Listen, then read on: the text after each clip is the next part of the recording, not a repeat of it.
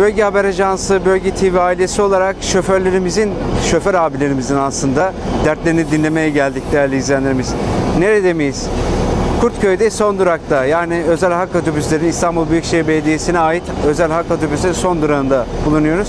Şoför abilerimize birazdan onların dertlerini, onların sıkıntılarını hatta ve hatta onların yaşadığı en ilginç olayları ekranlara getireceğiz. Aynı zamanda da dertlerini dinleyeceğiz değerli izleyenlerimiz. Mesela yolcuda e, araba biliyorsunuz çok Sultanbeyli'nin şeysi yüksek. Evet. Yolcu potansiyeli. nüfusa sahip. Yani şimdi buraya da bu kadar araba olduğu halde yine yetmiyor. Yetmediği zaman da tabii ister istemez yolcu almak zorunda kalıyorsun.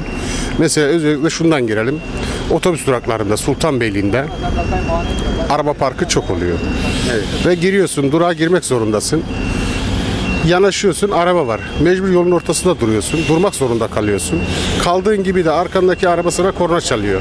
Duruyorsun karşında diyorsun bak kardeşim burası durak. İçeride araba var. Bana değil bana bağırıyorsun da ona niye bağırmıyorsun diye bir soru soruyorsun.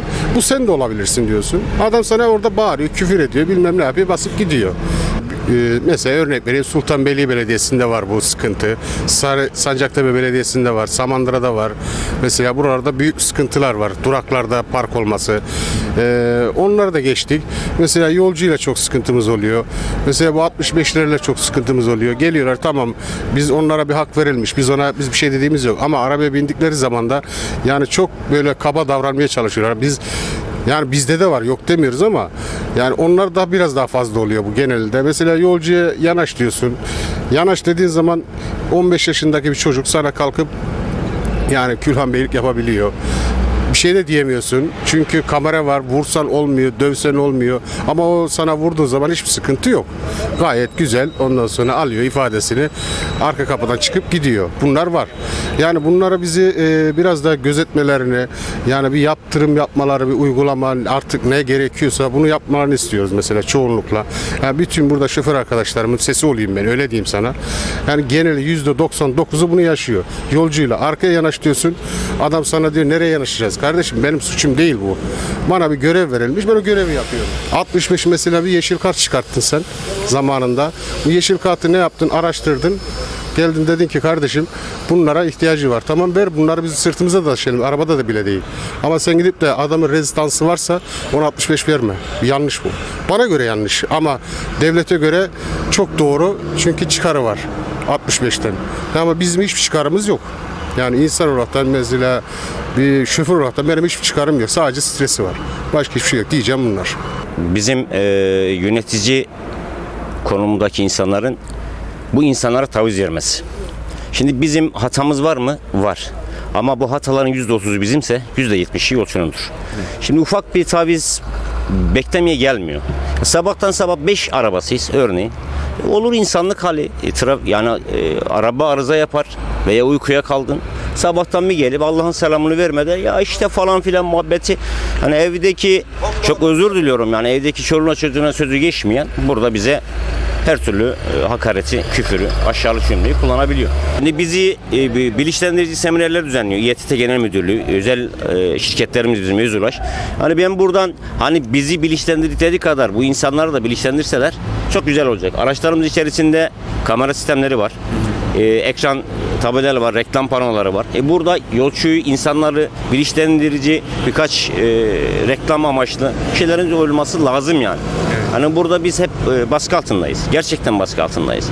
Yani burada e, bazen öyle geliyor ki e, kendinizi zapt edemeyeceğiniz bir durum oluyor. Bir bardağın bir hacmi var. Ya zoru şimdi şöyle bir şey. eee, şimdi toplu taşıma araçlarımız eee, eskiye dönük şu an biraz daha iyi. Hani eskiden sıkıntılar çok yaşıyorduk. Hani araç sahipleri eksik olduğundan dolayısıyla eee, şu an Çekmeköy Madenler Metrosu açıldıktan bu yana rahatlandık biraz. Hani bunu İstanbul Büyükşehir Belediyesi'ne başta Cumhurbaşkanı olmak üzere çok çok teşekkür ederiz. Hani eee, eski zorluklarımıza göre otobüs aşağı biraz bize kulak vermesi lazım. Otobüs aşağı yani nasıl diyeyim hani hak ediş olsun şey olsun bazen maaşlar geç yatıyor. Bunlara bir çare olması lazım. Biz şu an bunu bekliyoruz. Evet. Ee, o şeyden dolayısıyla da hani şu an hatlarımız rahatlandı. Rahatlandığı için Cumhurbaşkanımıza çok çok teşekkür ederim. Allah razı olsun. Devamını da bekliyoruz. Ee, şimdi maruz kaldığımız şu yani e, zaten bizim insanlar adres sormaya birebir. Onu biz bu işi mecbur söylememiz lazım.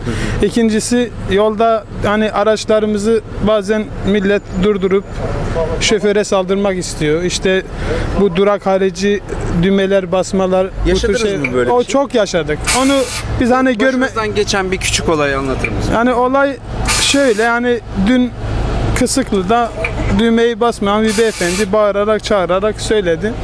Ben çok şey yapmadım. Hani eğer dikkate alsaydım kavga dövüşte giderdi. Onu da biz yapmıyoruz.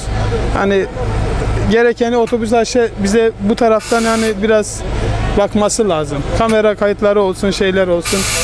Hani incelenmesi lazım. Geç inceliyorlar da o kadar çok şey yapmıyorlar. Allah razı olsun. Eğer ona da baksalar iyi olur.